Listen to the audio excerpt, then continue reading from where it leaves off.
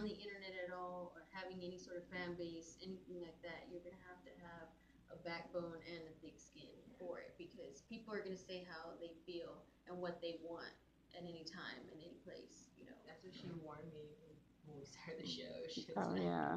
You did not care what people were gonna say. But at the same time, I kind of respect the uh, uh, honesty that you bring to everything, and also the honesty that uh, people uh, respond with, especially on various topics. I mean, um, the, the recent uh, clip that I saw you two do live, uh, based on um, the quote unquote fat chick. I mean, Mm-hmm. I don't get that either. I mean, people are people no matter what, and be comfortable in your own skin. It's always And if not, do something about it.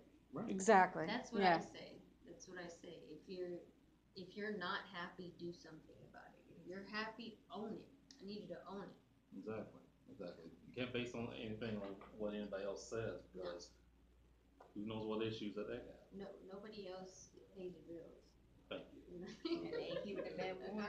Am I? You ain't in this Ah. You ain't got no say so. All right, going to get into uh, one more uh, little uh, snippet clips of music right quick before we wrap up. Uh, this is the latest from